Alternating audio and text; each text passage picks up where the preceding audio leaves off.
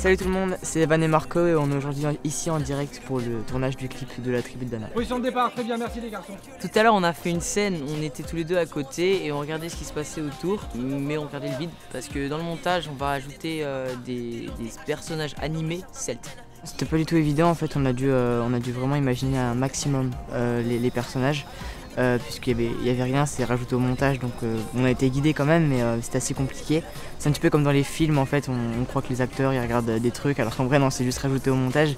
Et c'était vraiment une très belle expérience. On a fait un petit peu notre jeu d'acteur et ça a bien marché quoi.